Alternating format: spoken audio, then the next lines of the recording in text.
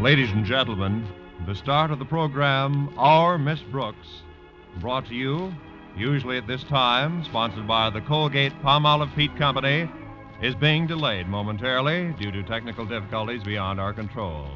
In the meantime, we offer you Organ Melodies by Dick Orant.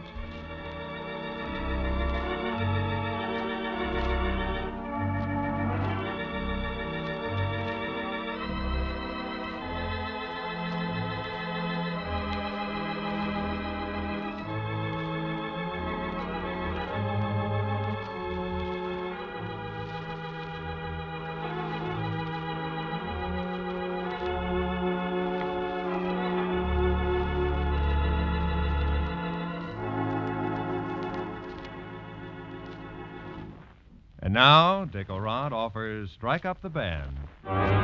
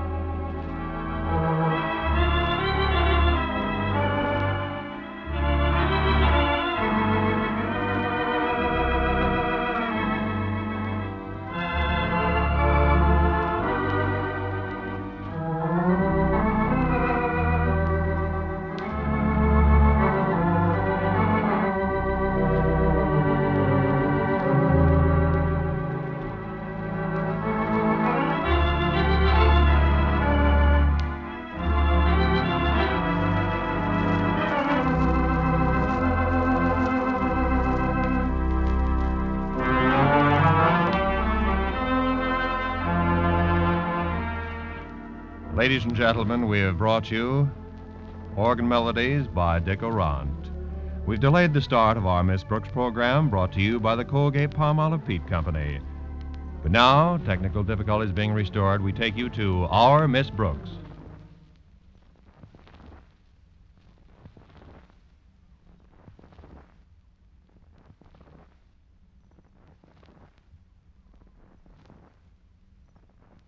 out. Yes, Mrs. Davis, something pretty important's come up that I've- got to discuss with Mr. Boynton. I'm meeting him at the zoo right now. Tell you all about it when I come back. Goodbye. Oh, Connie, you left a couple of letters on your dresser. Huh. She must be in a hurry. She didn't even open her mail, except this one. Huh. Dear Miss Brooks, as principal of Sunnydale Finishing School, I...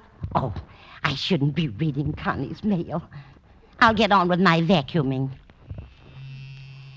First, I'll, I'll get this corner here.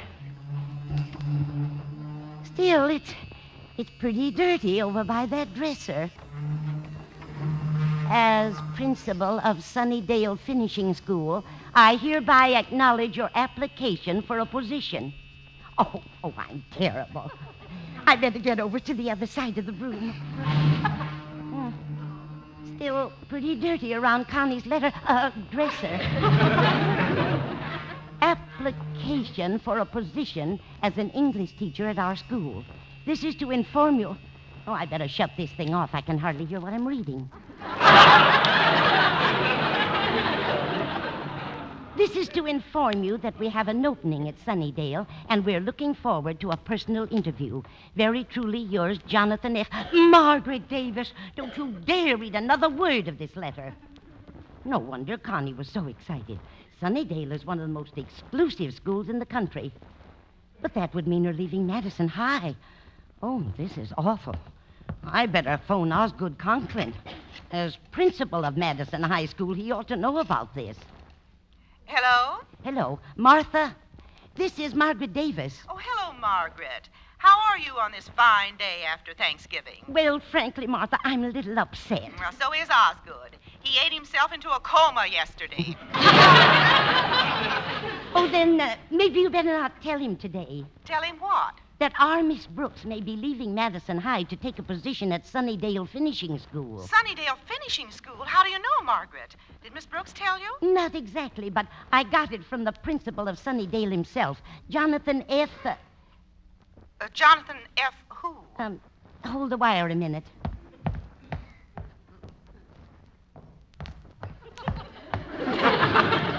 Byers.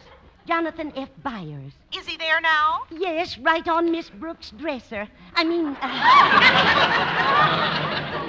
Martha, look. You've got to promise me you'll never breathe a word of this to Miss Brooks or anyone else. Oh, I, I promise, Margaret. Well, just by accident, I just happened to read a letter that was lying on Miss Brooks' dresser. By accident, Margaret? Yes, I just happened to have my glasses on. but what are we going to do, Martha? We can't let Miss Brooks leave Madison. No, we certainly can't.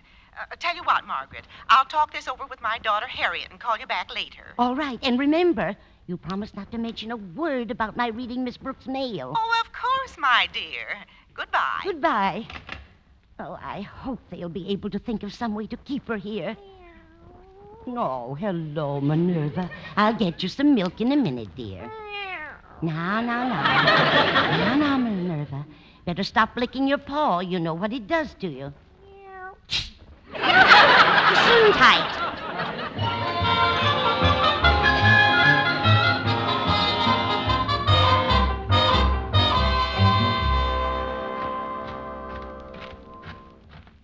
You, Miss Brooks. Here I am, over here by these birds. Oh, of course, Mr. Boynton. I thought you were a little tall for a pelican. It was nice of you to meet me. How'd you get over here so quickly? It was simple. I dressed on the way over. but now that I'm here, what was it you wanted to see me about? Well, perhaps we'd better sit down while I tell you. Here's a bench under this tree. Fine. There. You comfortable? Perfectly. Miss Brooks, I. Uh, Yes, Mr. Boynton? well, you must forgive me if I seem overexcited, but frankly, I never thought this day would come. You didn't? No, I didn't. Oh. Well, before it goes, why didn't you think it would ever come? Because of. Uh, Because of the things that have happened in the past, or, or rather, because of the things that haven't happened in the past. Those are the ones that bother me, too. You realize, of course, I'm referring to the migratory habits of the Arctic grackle. Oh, I realized that a long time ago. I just didn't want to let on. This is the first time a grackle has ever been south of the Canadian border. Maybe he was waiting till after the election. I knew that something was afoot when I looked out of my window this morning and saw a black and blue bullfinch. What happened to him? Get caught in a badminton game? Um, The movements of the grackle can be very accurately charted by closely observing the bullfinch, since they are, in the truest sense of the word, full cousins to the mottled thrush. Where did he come from? Hudson Bay.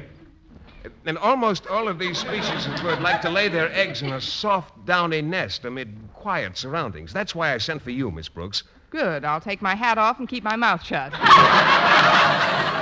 I know this sounds terribly involved, but actually it's quite simple. You see, my uncle's farm in Boonville is a perfect nesting ground for both bullfinch and thrush. How does your aunt feel about that? Well, they both love birds. They've built a sanctuary for them, and I have an idea that if I get right up there, I may stumble into some grackle eggs. Sounds like fun if you don't mind albumin on your Oxfords. That's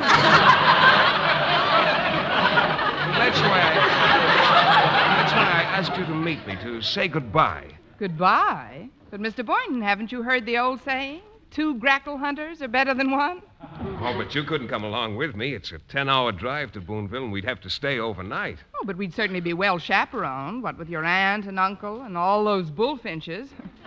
Yes, they did have 600 of them up there last year, but I don't know, Miss Brooks. Even with the chaperones, you, you know how people talk, and unless we didn't say anything about it, but even then they might find out, although we'd only be gone a couple of days. Still, if the rumor got around that we were. Of course, we wouldn't be. But then there are those who might. Uh... Oh, but how could they? What do you think, Miss Brooks? Why should I butt in? Decide among yourselves.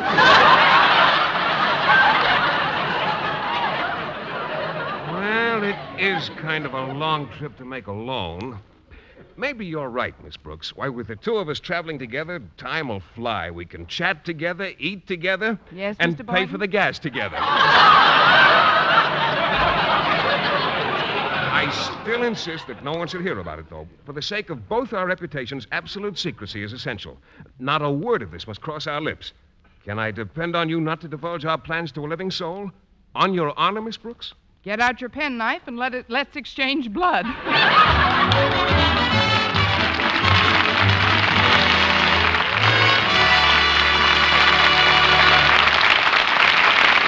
Our Miss Brooks, starring Eve Arden, will continue in just a moment. But first, here is Verne Smith with an important announcement.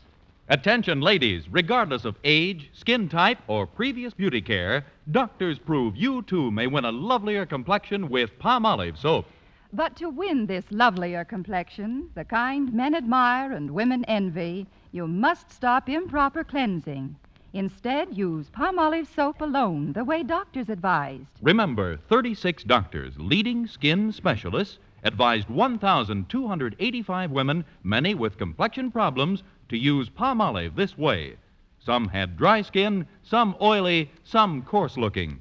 Using Palmolive soap alone, two out of three won lovelier complexions, regardless of age, type of skin, or previous beauty care. Now, here's the plan doctors advised. Wash your face with Palmolive soap, massaging for one minute with Palmolive's soft lather. This cleansing massage brings your skin Palmolive's full beautifying effect. Rinse.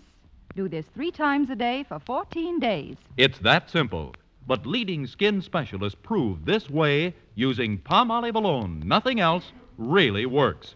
So forget other beauty care. Use Palmolive soap as these doctors advised for a lovelier complexion.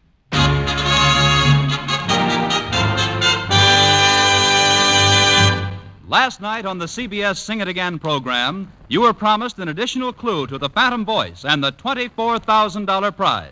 Here it is The Phantom is a famous ghost who galloped far from post to post. Yes, there's the clue for the $24,000 prize on the CBS Sing It Again program on Saturday night. The clue again The Phantom is a famous ghost who galloped far from post to post. And now, as she quietly prepares for a weekend in the country, our Miss Brooks is blissfully unaware of the furor caused by the five year old letter which she left on her dresser. Let's look in now on Martha Conklin as she discusses the situation with her daughter Harriet. So you see, Harriet, it, it looks very much like your favorite teacher will soon be leaving Madison High. Oh, that's terrible, Mother. Have you told Daddy about it yet? Uh, not yet, Harriet. I'm waiting until he recovers from his Thanksgiving dinner. You know how upset he gets when we mention the shortage of teachers. Oh, yes. Golly, Mother, he's been lying over there on the couch for hours. Do you think he's all right? Oh, of course he's all right. He's just sleeping. Aren't you, Osgood? I say, aren't you just sleeping, Osgood? Yeah? Hmm? What? No, no, no. Take it away. Take it. Oh. Oh. I guess I was having a nightmare. A nightmare, Daddy? Yes, I dreamt I was still eating. I swear I don't know how those pilgrims did it. Did what, Osgood? Ate all that turkey and fought Indians besides. I'm surprised at you, Daddy. That's not the real Thanksgiving spirit. A lot I've got to be thankful for. Well, you've got us, Daddy. Mother and me. Yes. I've got you all right. I've also got the school. A school full of overcrowded classrooms and a horde of unreasonable teachers constantly screaming for a living wage. Now, Osgood, don't work yourself up into a stew. Oh, please, Martha. Don't even mention words like that. You haven't got the right attitude, Daddy.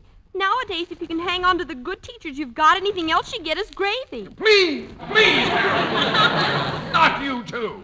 Maybe we ought to go out and let your father sleep a while longer, Harry. Yes, that's a splendid suggestion, Martha. Oh, this couch feels good. Oh, I'll get it. Coming. Oh, hello, Walter. Come on in.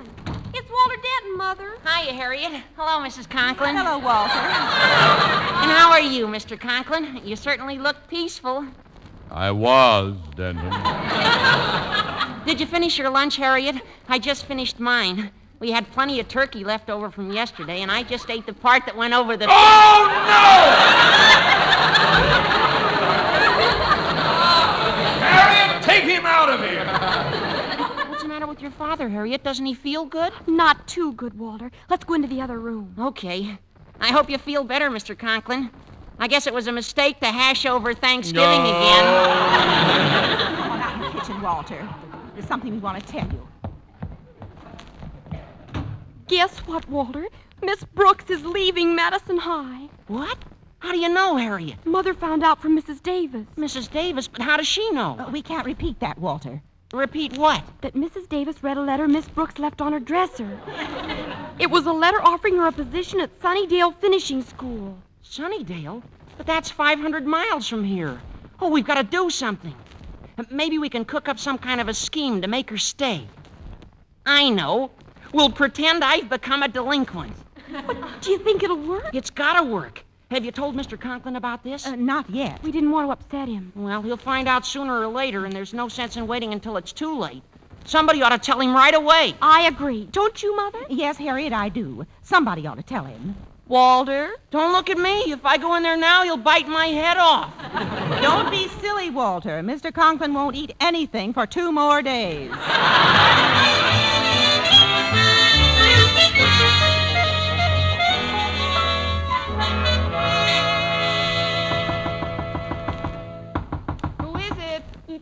Connie. Oh, I'm kind of busy right now, Mrs. Davis. She would come around just when I'm packing. Well, come on in.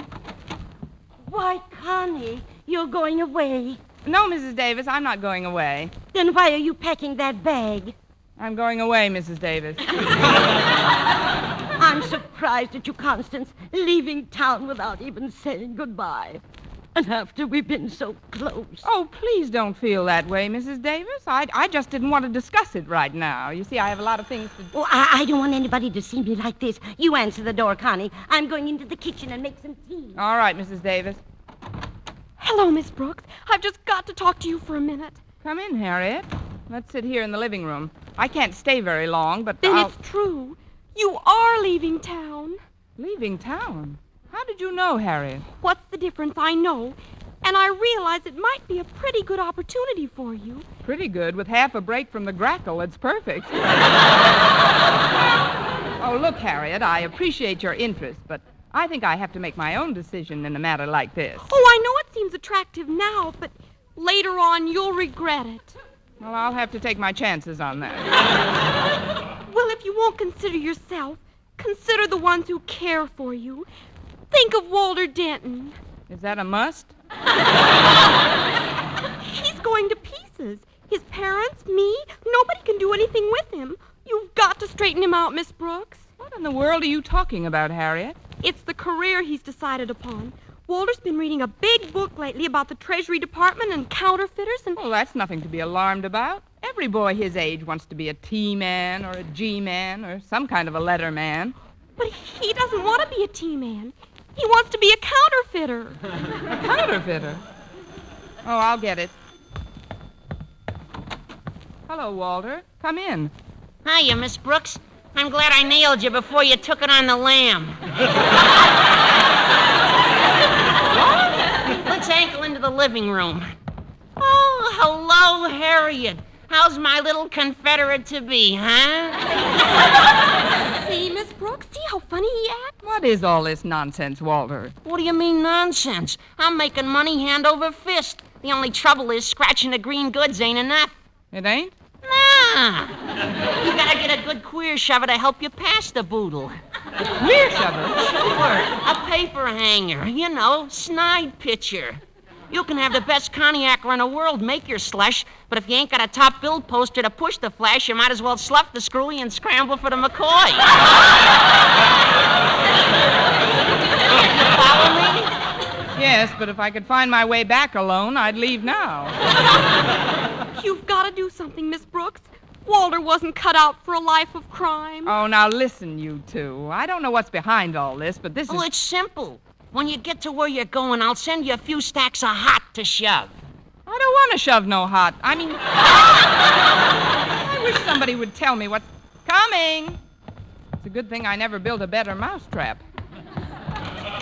Good afternoon, Miss Brooks. Why, it's Mr. Mousetrap. I mean, Mr. Conklin. Come on in. Who is that, Connie? It's Mr. Conklin. Oh, hello, Osgood. I was just making some tea, but you know what they say a watch pot never boils. Hello, Margaret. Now then, Miss Brooks, I'll be brief. I know that you're leaving town. You too? Somebody must be reading my mail. On second thought, I'd better go back and watch that pot. Miss Brooks, I think I can say without fear of contradiction that I know how to run a school as well as any principal in the country. Well, I guess you do, Mr. Conklin. That's why I'm here, to ask you to reconsider this proposition you've had. Proposition? Yes. I can offer you anything he can. Why,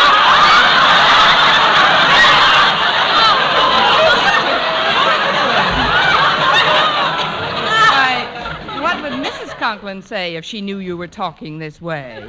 She's all for it. What? And so's my daughter, Harriet. Oh, now, please, Mr. Conklin. I've had a rather puzzling day so far, but this is. It just happens that your daughter's in the living room now. I think we better go in there. I'll be glad to. Oh, hello, Harriet. Walter. Hi, Hello, Daddy. Mr. Conklin. I'm awfully glad you decided to put your pride in your pocket and come over here. Did you ask her yet? Yes, Harriet, I did. The rest is up to Miss Brooks. Don't go away, anybody. I'll punch your transfers when I get back. Mr. Boynton. Yes, Miss Brooks, it's I. May I come in? Why, of course. I've still got a single in the mezzanine. but I can't help wondering what happened to that oath of secrecy we took. Well, that's what I'd like to know. I thought you weren't going to tell anybody about our trip to my uncle's place. I didn't say a word about it. You didn't? No. Why, I've never seen so many wagging tongues in all my life. You think you've seen wagging tongues? My living room looks like a delicatessen. Come on. Oh, I just don't understand what. Oh, hello, folks. Hi, Mr. Boynton. Oh, I'm glad you're here, Boynton. Maybe you can help get Miss Brooks to change her mind. Well, I don't wish to appear insubordinate, sir, but frankly, I thought the trip might do us both a lot of good. Both? Don't tell me you're leaving, too. Pretty soon there'll be no faculty left at Madison High whatsoever. We might as well all go. I don't think his uncle and aunt have room for you all. Besides, Mr. Conklin, I think where I go and what I do is nobody's business but my own. And I say it is our business. Why you should want to go traipsing off to Sunnydale Finishing School is beyond me. It's Sunnydale finishing school. Of course. Now, there's no sense in beating about the bush. Mrs. Davis read the letter you left on your dresser this morning, and we know you've been offered a job there. Oh, that letter. Yeah. Why, that's over five years old, Mr. Conklin. I turned that job down long ago. Oh, I'm so happy, Miss Brooks. Hooray! Now I can go straight. But then, what were we talking about? You, uh, Mr. Boynton, uh, what was, uh, how was, uh, why did, Miss Brooks, just where were you and Mr. Boynton going together? That, Mr. Conklin, is a secret between Mr. Boynton, myself, and 600 bullfinches.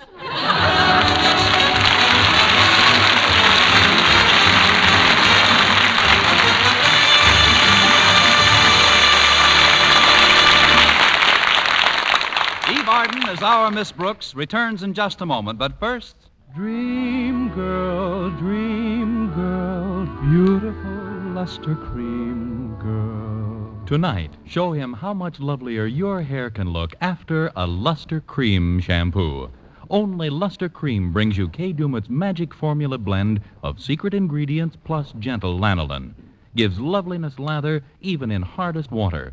Glamorizes your hair as you wash it. Luster Cream, not a soap, not a liquid, but a dainty cream shampoo.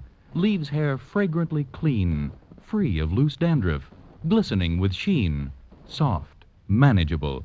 Gives new beauty to all hairdos or permanents. Four ounce jar, one dollar. Smaller sizes, either tubes or jars.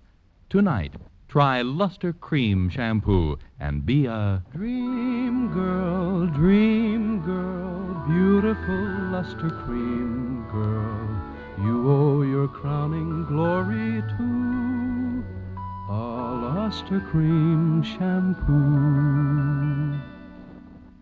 And now, once again, here is our Miss Brooks. Well, after everyone found out about our plans, Mr. Boynton naturally called off the expedition. But things weren't a total loss, because Saturday afternoon he took me back to the zoo, and we sat by the aviary once again. You know, Miss Brooks, even though our trip didn't work out, I was very gratified to learn of your interest in birds and wildlife in general. Yes, I'm a great bird for wildlife.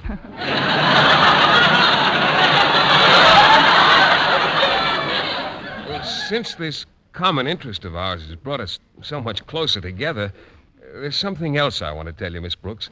Something I think you ought to know. What's that, Mr. Boynton? There's a pelican here who holds 18 pounds of fish in his beak. What's he waiting for? The price to go up?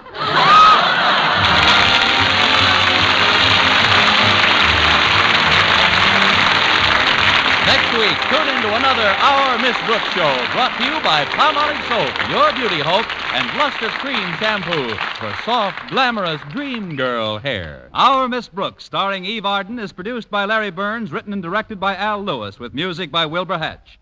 Mr. Boynton is played by Jeff Chandler, Mr. Conklin by Gale Gordon.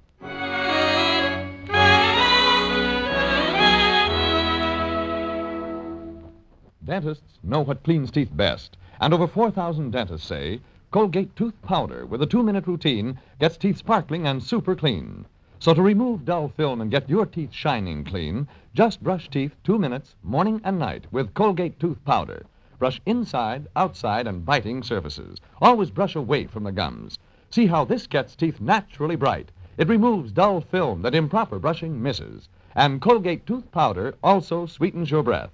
Try it. Buy Colgate tooth powder today.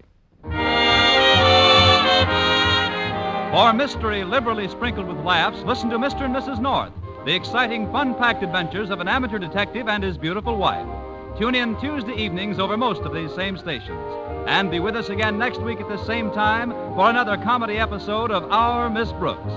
Stay tuned now for Lum and Abner. Bob Lamont speaking. This is CBS, the Columbia Broadcasting System.